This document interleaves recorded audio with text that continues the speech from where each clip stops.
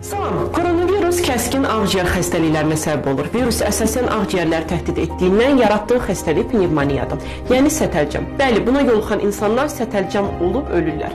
Virus əsasən insanlardan yoluxur. Göstəriciləri kəskin baş ağrısı, burun axma, askırma, öskürmək, təngə nəfəslik, nəfəs ala bilməmək, döş qəfəsində ağrılar və yüksək hərarətdir.